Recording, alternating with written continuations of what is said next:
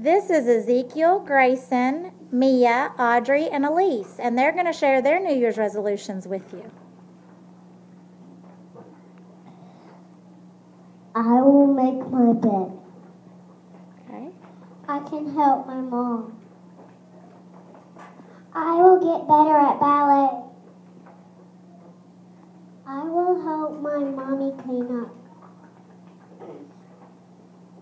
I will help my dad bake. Very good. Thank you, guys.